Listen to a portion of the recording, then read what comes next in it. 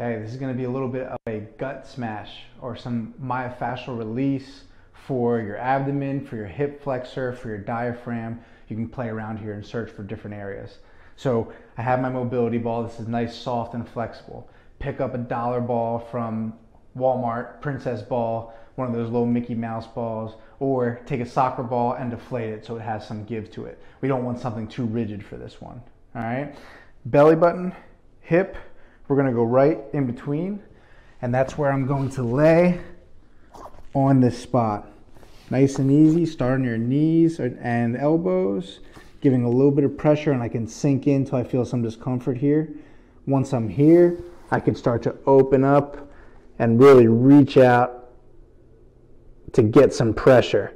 Small circles, back and forth, kind of explore the area. You could add some tension by bending and straightening the knee externally and internally, rotating the hip, looking for tenderness, restriction. Make sure you're breathing while you do this.